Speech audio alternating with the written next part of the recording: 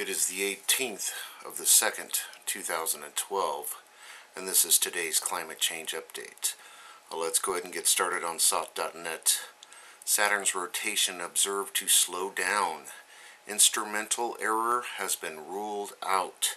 A new estimate of how fast Saturn spins has been made using magnetic data from NASA's Cassini spacecraft, but is not the answer scientists were expecting.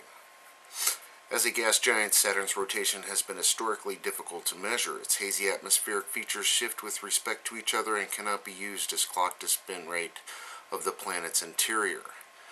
Now, basically, they're, they're saying from the last time they tested this from the 1980 Voyager observations, uh, the rotation is eight minutes longer.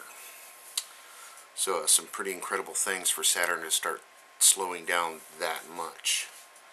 We got a huge bird kill, just uh, hundreds of bird, dead birds on I-95 in Laurel, Maryland. Uh, they just dropped from the sky and landed onto I-95 Wednesday, bringing the afternoon rush hour traffic to a crawl. And they're still not quite sure what caused this. They're saying it might be flush. They flocked together this time of year, and uh, they might have hit a semi-truck is the official version. Over to the Ice Age now. A Dutch prince Johan Friso buried alive by avalanche in um where was it? It was in uh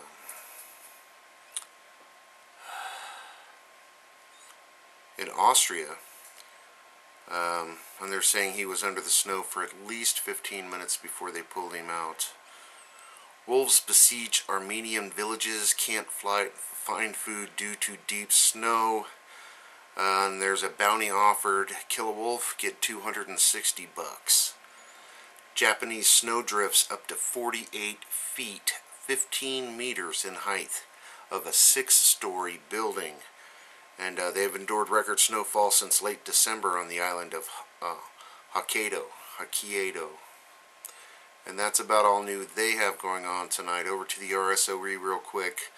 Uh, major snowstorm in Lebanon uh, saying roads closed, crop damage, that kind of thing, uh, from 600 meters and higher kind of thing. They're in for some severe weather. Extreme weather coming out of the United Arab Emirates. They're saying high wind. Uh, they're telling not the people not to go out uh, sailing anytime soon due to the extreme weather. Uh, couldn't have to do with any of the war drums beating or anything, could it? Uh, hailstorm out of Zambia, Africa and uh, they're saying this the, the hail was so bad it just beat it down their, their corn crops uh, completely destroyed in many areas. Volcano activity in Indonesia. Mount Merapi volcano is gearing up once again. They say there's a new lava dome forming and uh, definitely on alert for that one. Uh, we've got a volcano eruption in the Solomon Islands. Uh, the Tinakula volcano uh, which is a small island out in the middle of the Pacific, uh, just off of Australia.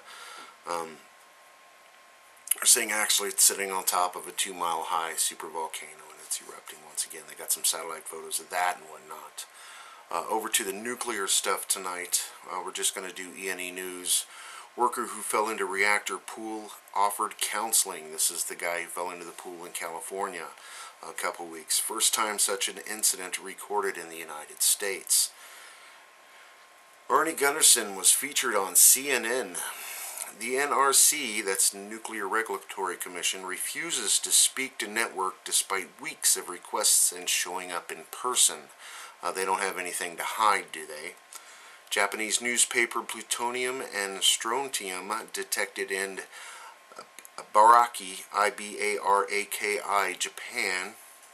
And again, plutonium does not go away. Lawmakers seek free medical care for radiation-exposed children outside of the Fukushima prefecture. Uh, they're having problems just trying to get medical care for the people inside the 20 mile or the 20 kilometer exclusion zone. Uh, update, original mystery black substance was never tested much more radioactive than officials' black dust.